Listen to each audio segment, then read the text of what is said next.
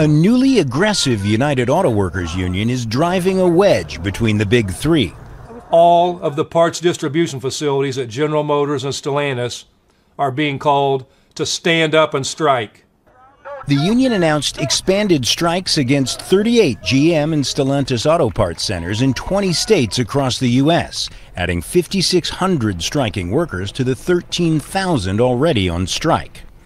But in the latest wave, Ford was spared, with the union citing progress with the oldest automaker. It's kind of like a slap in the face. General Motor has always been a powerhouse in the automotive industry. So if you think that Ford can do it, I, I would think they can follow suit also. For the first time after making major concessions in the 2007 to 8 financial crisis, the union is making big demands, starting with a 40% pay increase over four years to match recent CEO salary hikes. I am currently earning less money per hour than I was 23 years ago. And you would like to get that back? Absolutely. GM President Mark Reuss is firing back, calling the UAW's demands untenable after automakers offered a 20% wage hike.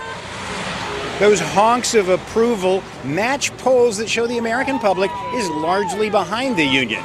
86 workers here in Bolingbrook, Illinois, walked off the job and onto the picket lines on Thursday. The union's strategy is progressive strikes, designed to gradually increase the pressure at one site after another and to stretch out a more than $800 million strike fund so they can last as long as they need to. The first picketers of the second wave of strikers seem ready to sacrifice. Right now, we're scraping to get by, and uh, uh, we're fighting corporate greed. They want to keep all the money at the top and uh, let nothing trickle down to, to the workers.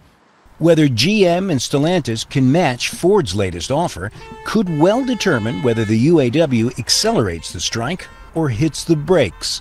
John Hendren, Al Jazeera, Bolingbrook, Illinois.